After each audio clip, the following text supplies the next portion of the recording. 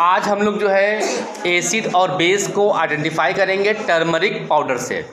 Okay तो यहाँ पर मेरे पास जो है एक एसिडिक सोल्यूशन है और दूसरा क्या है? ये है बेसिक बे, बेसिक सोल्यूशन बेसिक सोल्यूशन के लिए हम लोगों ने क्या लिया था? बेकिंग सोडा यानी खाने वाला सोडा जो घरों में हमारे होता है जिसका इस्तेमाल करते हैं कचौड़ी बनाने में छोले बनाने में। है कि नहीं? और दूसरे में जो है एसिडिक सोल्यूशन के रूप में फॉर्म में हम लोगों ने क्या लिया है? लेमन जूस ना यहाँ पे नींबू के रस को पानी के साथ मिला दिया गया है और एक एसिडिक सोल्यूशन रेडी कर लिया गया है। अब क्या करेंगे? इसमें बारी बारी से हम जो है टर्मरिक पाउडर ऐड करते हैं। फिर देखते हैं कौन सा कलर आता है। सबसे पहले टर्मरिक पाउडर को ऐड करते हैं बेकिंग सोडा के सोल्यूशन के साथ यानी कि बेसिक सोल्यूशन के साथ। फिर देखते हैं कलर कौन सा आता है। ठीक है?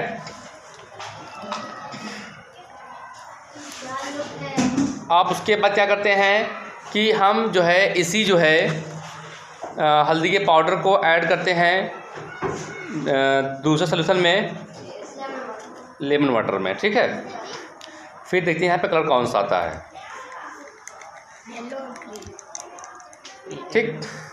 इस तरीके से हम लोगों ने जो है, पूरी तरीके से मिला दिया है। एक बार बेकिंग सोडा में डाला गया हल्दी पाउडर को और दूसरी बार जो है डाला गया किसमें?